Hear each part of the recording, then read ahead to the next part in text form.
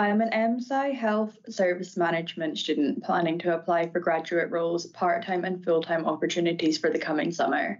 I'm confused which fields I'm eligible for and which platforms are authentic other than LinkedIn and Indeed. What roles can I work for? Thanks, and that's a really good general qualification um, that you're getting there, and it can lead to lots of different management career paths, both in the public and the private healthcare sectors. Um, have you considered looking at the career pathways information that's on the, the NHS Scotland websites? They've got some really good infographics on there to show you the different pathways you can take with the different qualifications. They often, as well, each different NHS board in Scotland does open days, so you're able to ask the experts.